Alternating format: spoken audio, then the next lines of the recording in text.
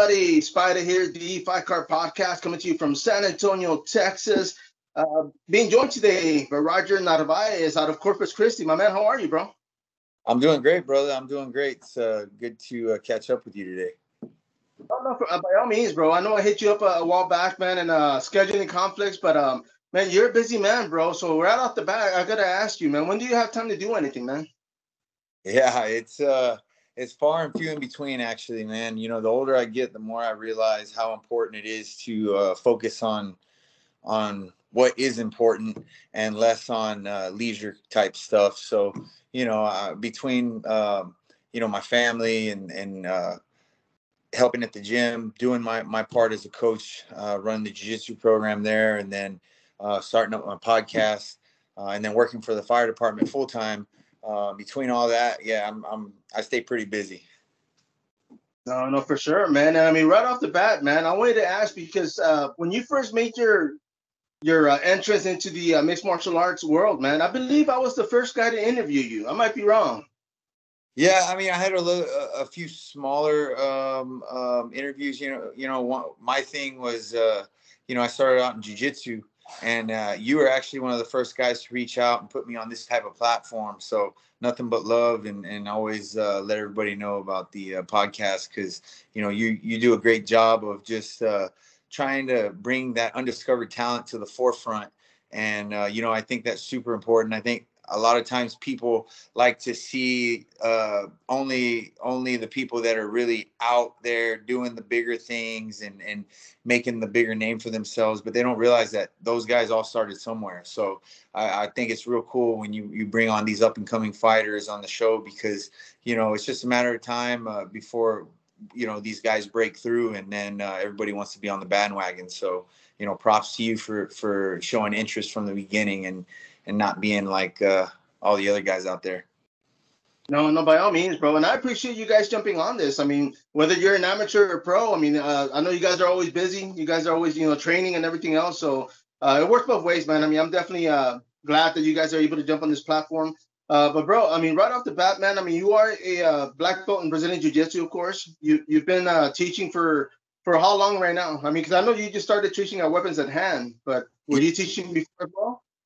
Yeah, well, I I started teaching before that with under my coach Hector Munoz. Um, pretty early on. I mean, I, I would pick up a few classes, beginner classes as a blue belt.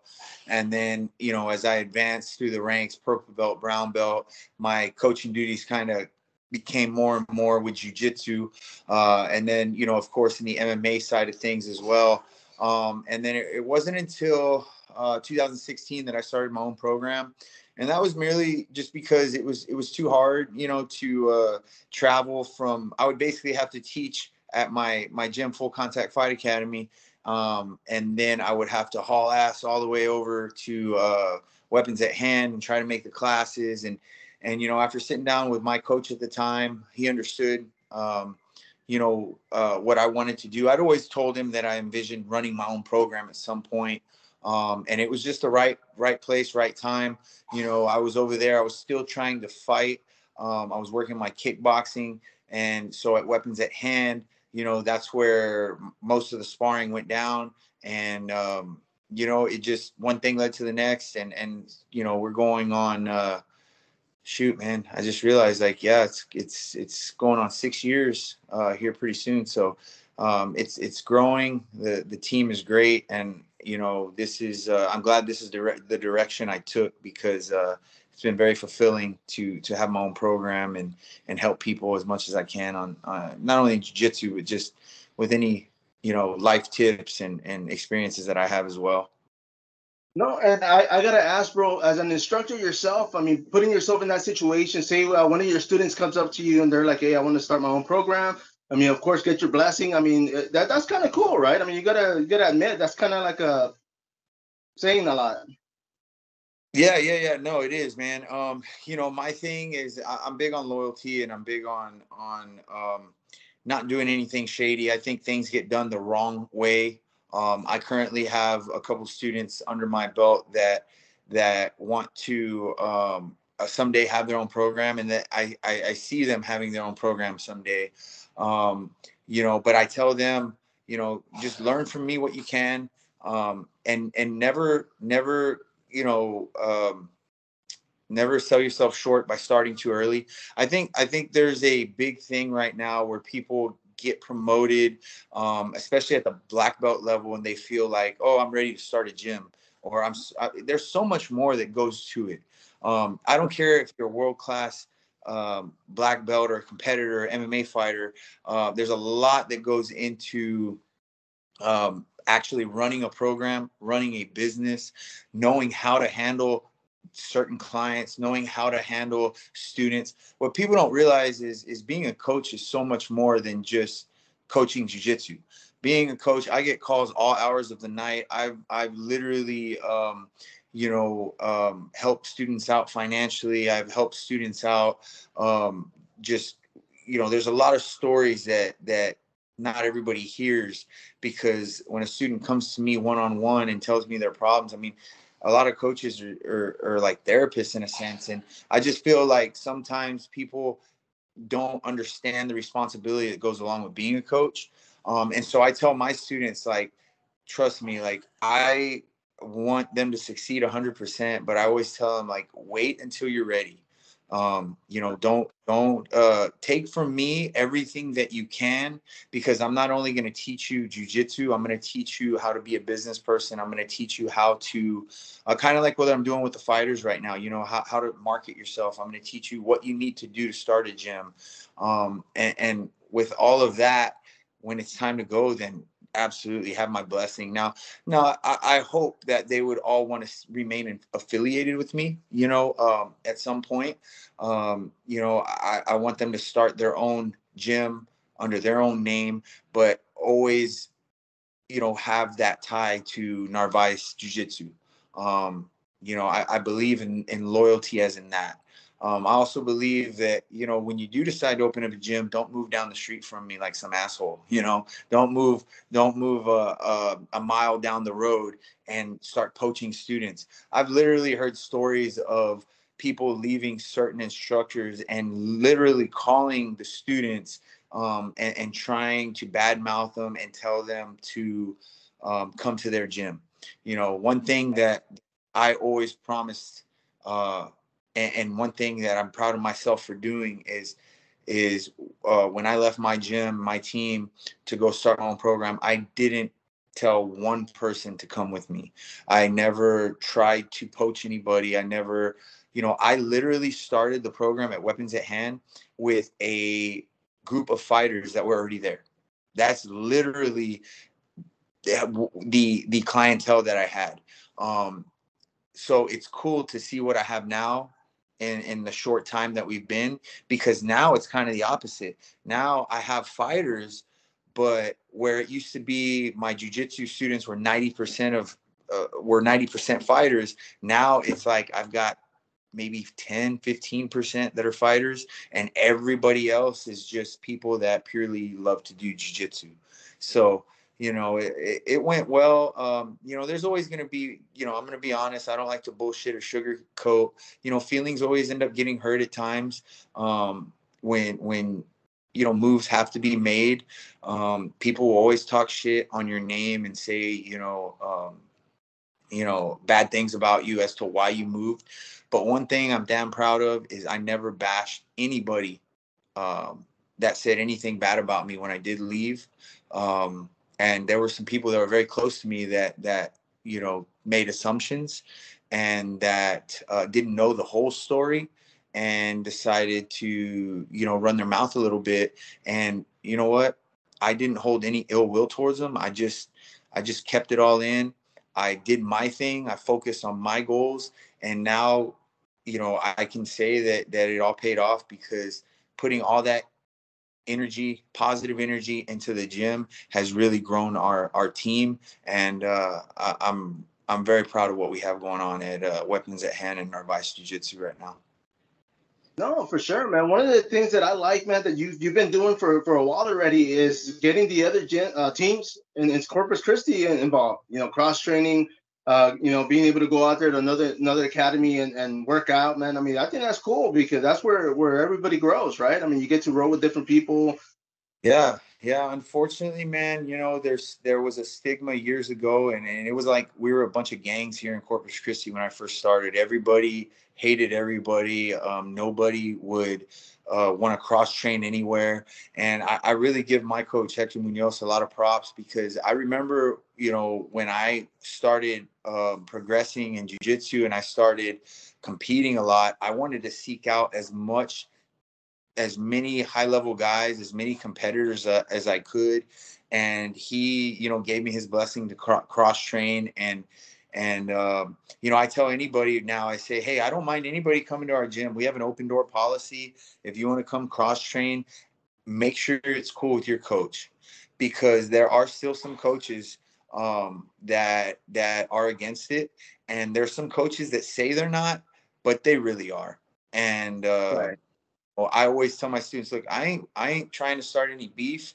We have a great thing going. I have a great relationship with Pressa uh, Jiu Jitsu, our Brazilian Jiu Jitsu here in Corpus. Um, you know, we we cross train regularly with guys from Gracie Barra, uh, Pressa, um, you know, Half Shell.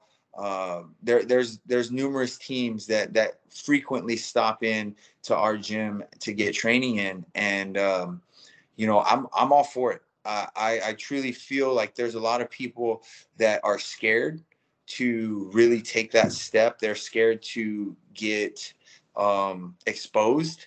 Uh, but like I tell my students, man, what happens in practice doesn't matter. You know, it, it's how you perform on the big stage. Um, if I can smash everybody and i'm not constantly seeking out different looks and and trying to find somebody to really challenge me then i'm going to get exposed at some point and and uh, i'm never going to grow.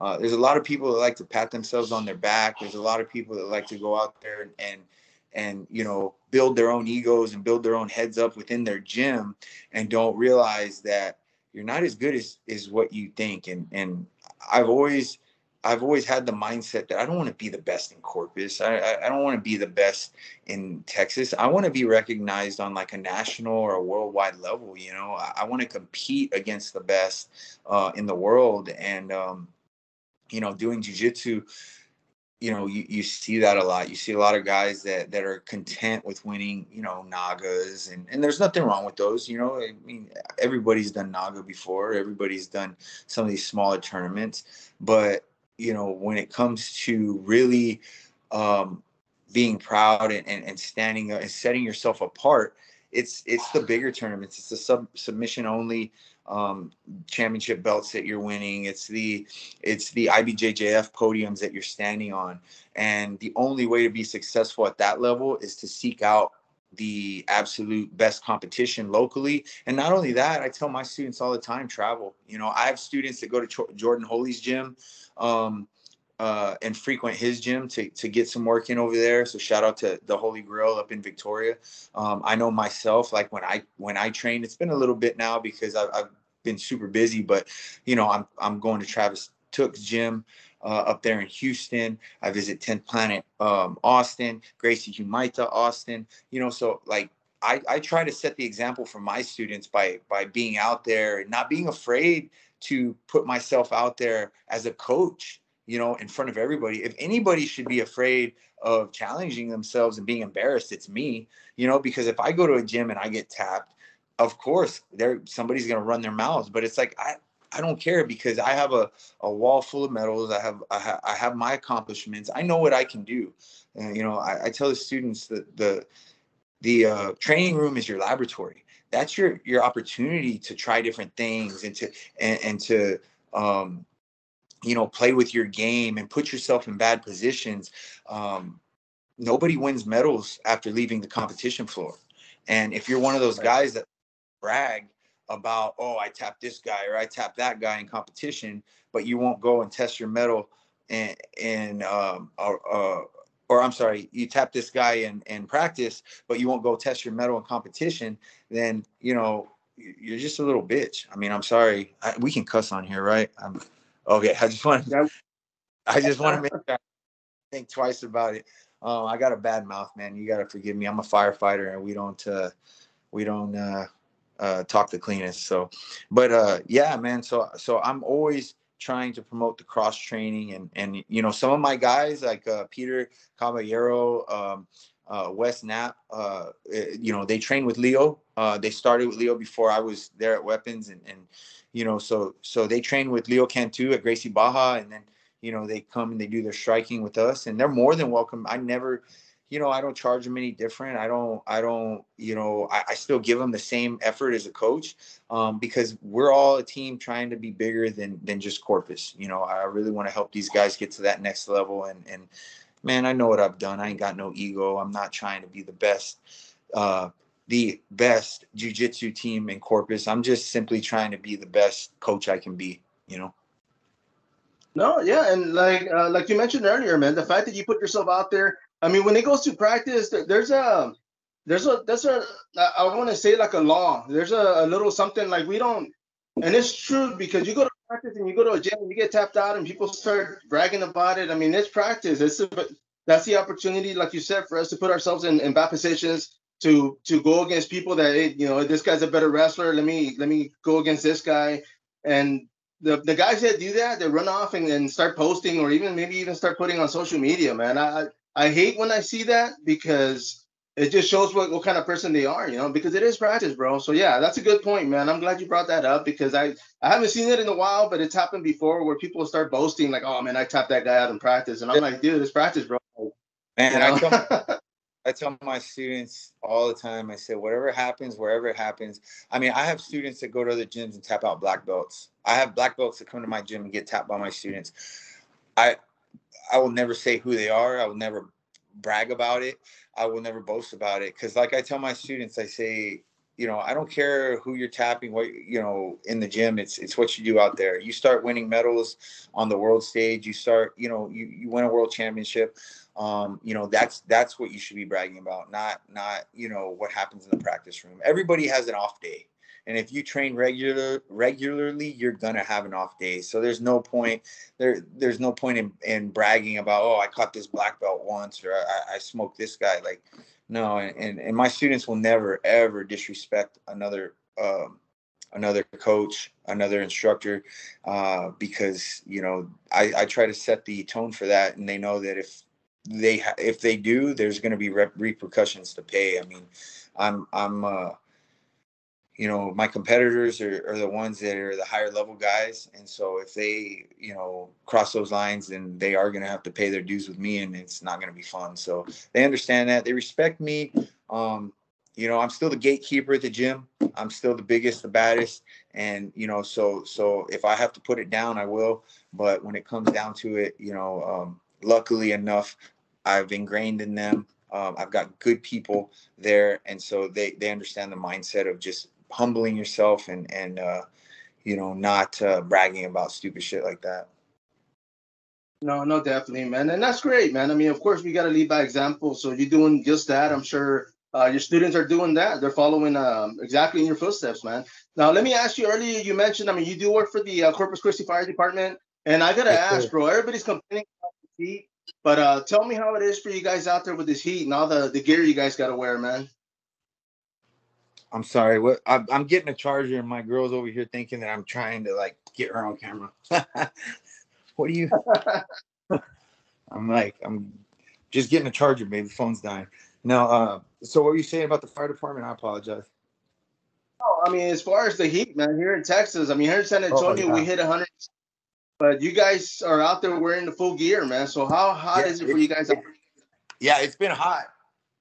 Uh, it's been it's been real hot. Um, unfortunately, here we've been getting a lot of brush fires lately, and that's uh that's never a, a fun thing. Um, let me turn you a little bit. That's never a fun thing, and you know, um, especially down here, we've had a lot of uh, brush fires lately, and and and uh, you know, it's hot enough when you are out there in 110 degree weather, but when you're catching uh, brush fires and you got your pants on and then you you know we have brush coats but uh you know it, it's it's not it's not good. Um luckily you know we we try to remain hydrated. We try to um take care of ourselves and that seems to to help a lot. Um but man i tell you what like we had some guys fighting a brush fire the other day for six hours. I was on the medic unit so i was just standing by um in case anybody went down but and luckily nobody did. But um, you know, it, it is difficult. It's not an easy thing to do, and uh, you know, we're dealing with the heat the best we can. We're from South Texas, so we know, you know, we know what to expect. Um, but yeah, like you guys, we've been hitting 110. Um, you know, uh, heat index. Uh, I think today it's like 100 degrees outside, so you know it's it's tough. But um, you know, you you you know how to prepare for that. You try to do your best at staying hydrated, uh, and and uh, you know, kind of go from there. No, no, by all means, bro. And of course, I know I know you have a class you got to do later on today, man. But let me ask you real quick. Uh, as far as competition, man, you stayed out there. You've been putting testing your skills. Uh, you'll be testing your skills against for uh, Texas Catch Wrestling Coalition, man. So tell us a little bit about that, bro. Yeah, man, it, it was a uh, it was a good. It's it's a really great event, man. The first time that I did it, I was super super happy with it. Um, I, I, was, to be honest with you, I was surprised. I wasn't sure how it would, would go. You know, it's a, the, it was a, a, the first event that I've been part of of theirs, so I didn't know what to expect. But uh, Chris Flores is doing a hell of a job with it. Um, I think the format is interesting. It's it's fun. It's different. That's why I like to do it. It mixes a little bit of cage wrestling in there. Um, you know, so I'm not necessarily punching people in the face, but I'm I'm I'm getting that little taste of being in the cage again and getting to do takedowns and work my uh, clinch game and and defend takedowns and use the cage as a as a tool to help me with my with my um, you know attacking and and then also being the the point game the point system's different. You know i can't just lay on my guard. I, I, I lay there with my shoulders you know i felt bad because my last match against cj hancock uh, he kind of forgot and he was laying there on his back and they gave him a quick three and then I got up. I was like, "Shit, man, really? Like, I don't, I don't want to win like that." And I didn't. We had a great match. Um, CJ's always a, a, real tough guy to finish. Um, I thought I was gonna break his arm at one point, and you know, maybe I should have because he didn't, uh, he didn't want to tap, man, and and he was being stubborn as hell. But you know, um, it was a good match. It was fun, um, and I'm excited to do this next one, uh, August twentieth. No, for sure, man. And are you going to have any of your students uh, participating in that as well, or is it just yourself? Yeah, I've got I've got a uh, one of my assistant instructors, Josh Leonard. He's actually the sub hunter pro 170 pound um, champ at Purple Belt, um, I believe. So you know, I want him to uh, step up. Um, he is probably one of the he's probably one of the uh, best unknown talents that's really out there.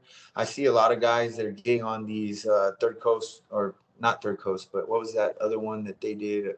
Anyway, there's a lot of a lot of uh, uh, competitions that he's applying for and not really getting picked for. And uh, you know, the kid's quiet.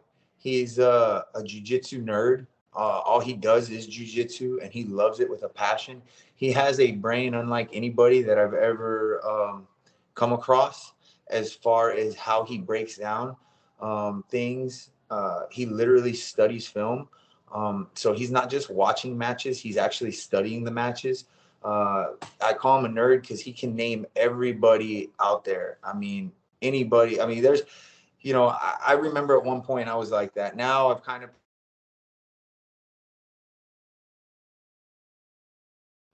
I think I lost you, bros. Let me see.